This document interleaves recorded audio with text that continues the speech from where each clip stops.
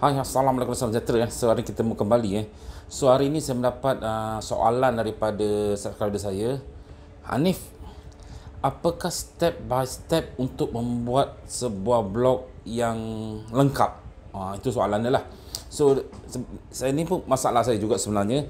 Di mana saya dah membuat banyak uh, video video tentang blogging. Tetapi video saya bersepah-sepah lah. Ha, okay.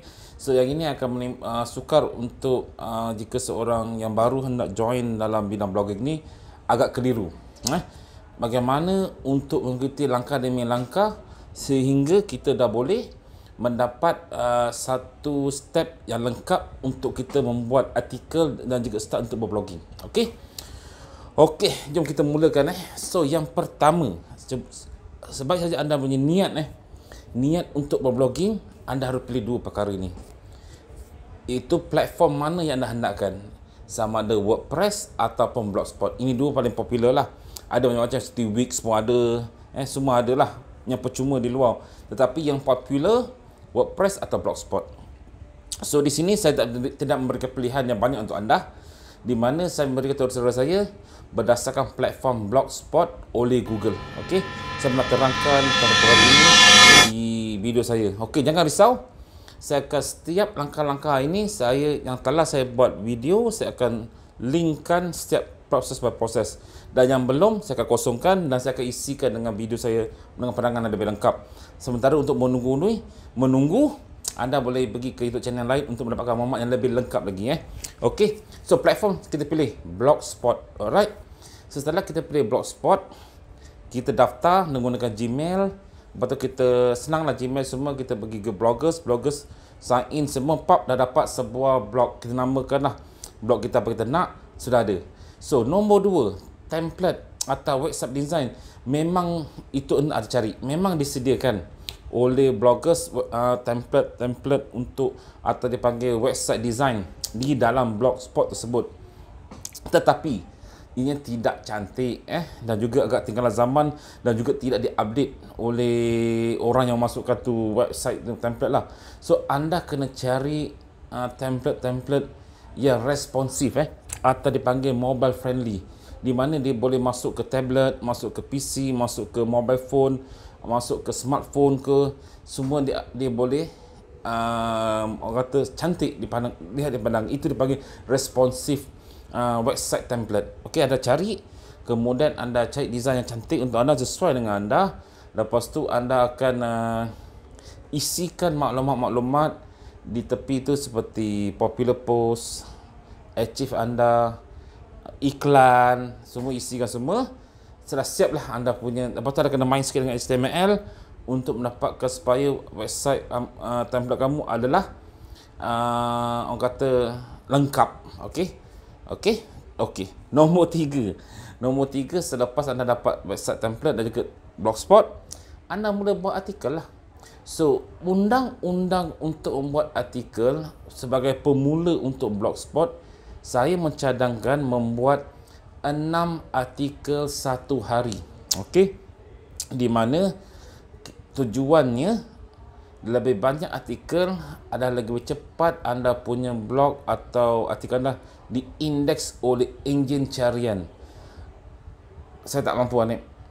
Buat setiap hari satu hari satu kali pun cukup. Eh, kalau anda tidak mampu lah. Tapi saya menggalakkan satu hari enam artikel.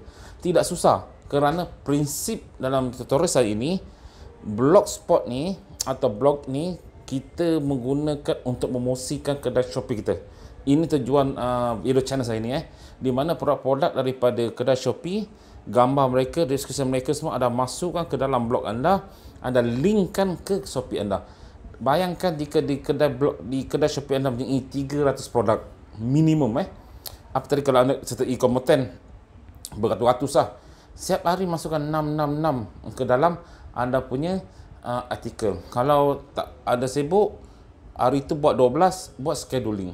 Buat scheduling yang masukkan eh so setiap hari supaya anda punya blog ni aktif dan senang diindeks oleh Google. Contents is important. Contents is king eh. Blog uh, harus punya content. Itu kemaham eh. Alright. Dan paling cantik jumlah patah perkataan adalah 1000 eh ser, uh, 1200 hingga 3000 patah perkataan tu the nice lah eh. Okey dengan image kali masukkan eh. Okey, setelah buat artikel anda akan mula membuat uh, orang kata analisis data. Anda akan, anda akan sign in untuk analisis data. Yang pertama, anda kena sign in untuk Google Search Console.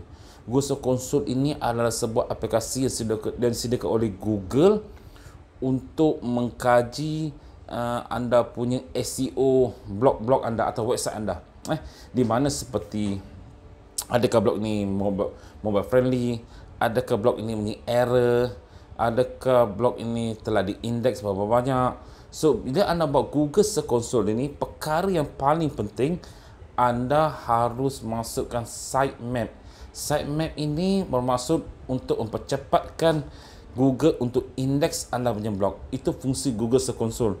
Selain daripada dia mengkaji uh, pelbagai perkara lain berkaitan, berkaitan dengan SEO anda. Okey. Ingatlah sitemap kena buat. Ini sekarang ajar berikan saja. Okey, kemudian data analisis yang kedua pula adalah anda kena sign in Google Analytics. Google Analytics ni saya telah berikan video sebelum ni di mana dia berfungsi untuk mengkaji demografi.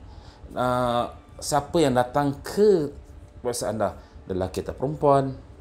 Umur mereka berapa? Dari negeri mana?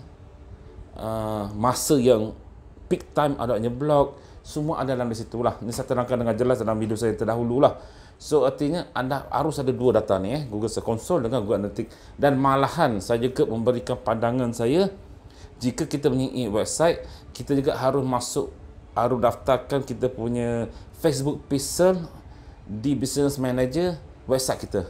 Artinya dalam Facebook pixel sesiapa yang masuk akan ada data lah eh.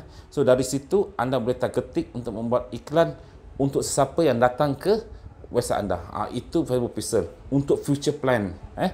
so pun saya menggalakkan juga untuk anda buat tu juga okay? prepare semua dulu prepare slow-slow bikin eh sebab anda punya masa hingga 6 bulan eh, untuk menjayakan blog anda. Ini saya terus sampai katakan lah. Ini saya katakan lebih lanjut lagi lah. Okey. Okey. Setelah anda buat semua analisis data, anda ingin mencari trafik. Itu adalah yang kelima lah. Mencari trafik di mana anda akan buat blog walking, buat campaign atau anda pergi giveaway. So, anda akan buat ping auto pergi ke website untuk mencari kata tapi cara percuma the ping kan tu. Ni semua saya dah jelaskan dalam video saya. So ini adalah next step anda mencari trafik uh, anda boleh linkkan ke website anda dan semasa ke masa untuk anda mendapatkan trafik secara organik datang ke blog anda. Dan pada masa sama juga anda akan memperbaiki SEO anda semasa ke masa lah akan datang lah so untuk blogging jika anda kena siapkan ke semua ni. Setelah siap semua ni siaplah kerja anda. Maka anda sudah boleh blogging seperti biasa. Tulis artikel semua eh.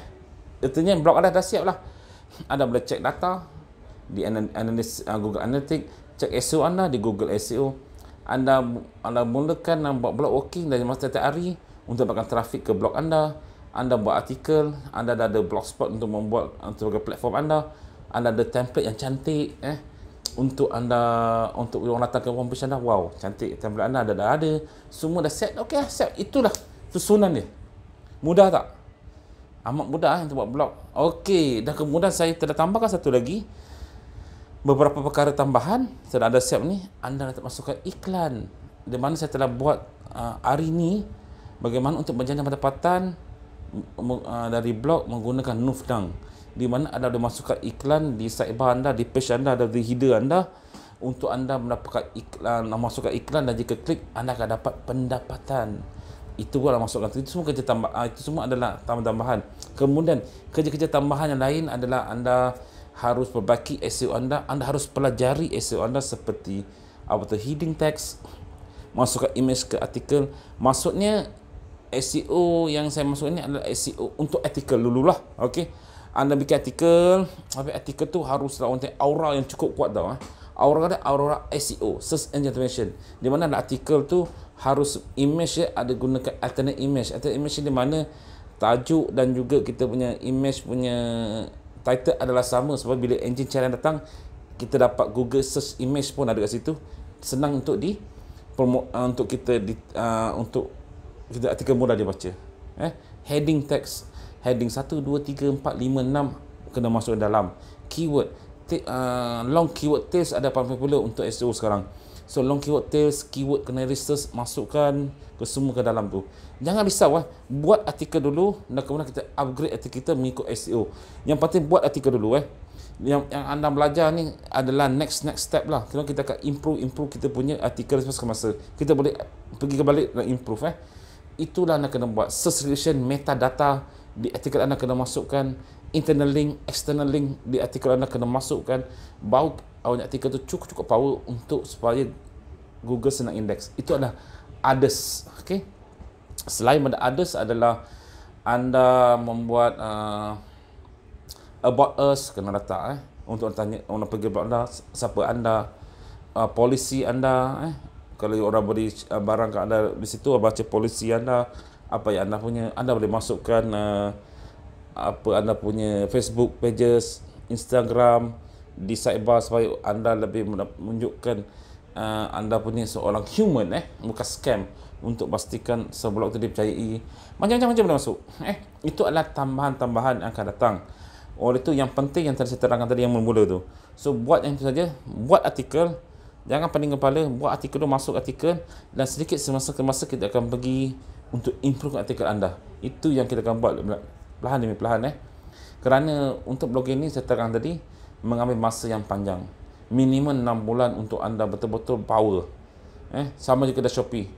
6 bulan bau power. So tak dia tidak datang kena sekelip mata saja anda dah jadi kaya, anda dapat target yang tinggi. Tidak eh. Mengambil masa. Okey. So saya dapat menjawab uh, soalan subscriber saya apakah step by step untuk membuat blog. So, yang mana ruangan yang kosong-kosong yang boleh saya buat tu saya akan buatkan video dan tutorial nanti.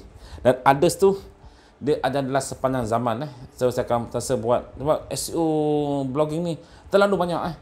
Terlalu banyak hingga kadang saya berlupa eh. Untuk teknik-teknik dia saya akan bantu dan juga akan buat video mengenai benda ni dan anda anda boleh improvekan blog anda dari segala masa. Okey. So hanya perlu bersabar. Eh, dalam bisnes online ni kena banyak bersabar. Okey. Okeylah. Assalamualaikum warahmatullahi wabarakatuh. Jangan lupa subscribe YouTube channel saya untuk dapatkan tips tentang blogging, tips tentang Facebook Ads dan tips tentang Shopee. Alright.